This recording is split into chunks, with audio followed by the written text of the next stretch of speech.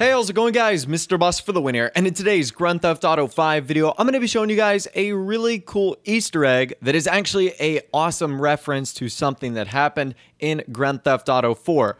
Now, before we get started, I just want to say thank you so much for all the support on the videos lately, uh, and that's why I'm doing this third video today. You guys have just been showing massive support lately, so I figured why not? Let's do a, a quick little third video here on the channel, and uh, that's what I'm going to be doing right now, showing you guys this Easter egg. So I actually think my good friend Zac Cox TV discovered this Easter egg first. I'll leave his link in the description down below so you can check out his video and his thoughts and opinions on this.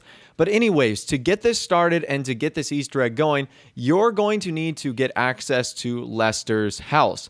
Now, for me, the easiest way to do that, and I'm sure most of you guys have gotten this far into the single player, is to replay the mission Friend Request, which is where you go into Franklin's house for the very first time before you start up the Vangelico heist. That, for me, was the easiest way to do it. If you know another way to get into Lester's house, you go for it. You can just uh, go in any way you want.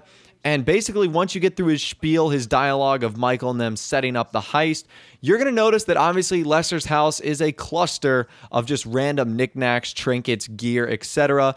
And if you go over towards his bed, there's kind of like a little futon area. You'll actually notice that there are some action figures hanging on the wall. Now, the ones on the top, the barfs, I'm really not too sure what those are, but there's some pretty recognizable superheroes in this bunch. You've got the Brown Streak, you've got Impotent Rage, you've got the Republican Space Ranger, as well as Princess Robot Bubblegum. Uh, and there's also a few other ones on there as well. Two versions of Captain Spacetron. Now, this isn't actually where we're going to be finding our Easter egg. Those are just where they're located on the wall. We'll be coming back to that for some comparison in a little bit. If you go towards the front of Lester's room. Uh, he's got like this shelf. It's got some sword on it with some newspapers. You'll actually notice that those action figures are out in the open, and we can kind of get a better look at what they are. You can clearly see the Republican Space Ranger. You can see Impotent Rage, the Brown Streak. And then you can see this one weird guy. He's wearing like some black boots, jeans, and a jean jacket with a white undershirt and orange reddish sleeves. Now, this is actually where our Easter egg takes place.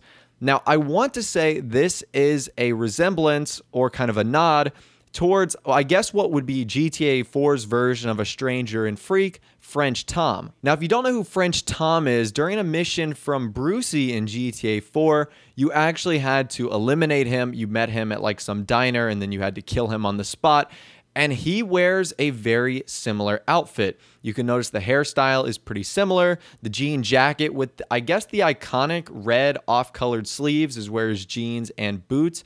So this is actually pretty funny because this mission in Grand Theft Auto 4 with Niko and French Tom was a pretty funny one.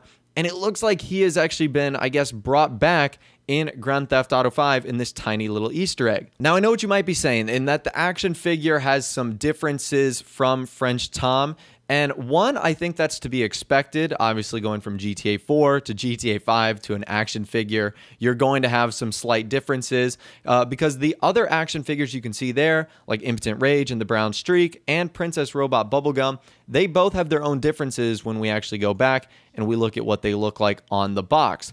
Now, something else that's pretty interesting to note is that on the box, you can see that the French Tom action figure that we're looking at is actually Captain Space Toy, and his name is Space Tramp. So I'm not sure if that's a reference to the fact that French Tom was gay or if that has something else to do.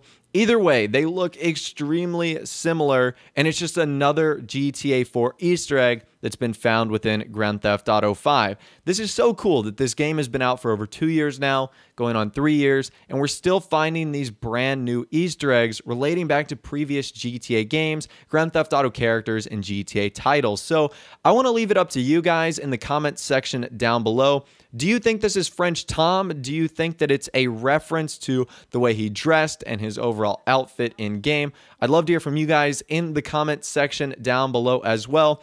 Do a mission for me. Go into Lester's house, check this out for yourself, and also report back to me and see if you find anything new or anything different. Lester's house is filled with crazy stuff. Who knows what other Easter eggs we might be missing there? Anyways, if you did go on to enjoy the video, a like rating would of course be awesome. And also subscribe to my YouTube channel if you are new or you like daily Grand Theft Auto 5 videos like this. Without the way, guys, like I said, thanks for watching take care, and I'll see you guys in the next video.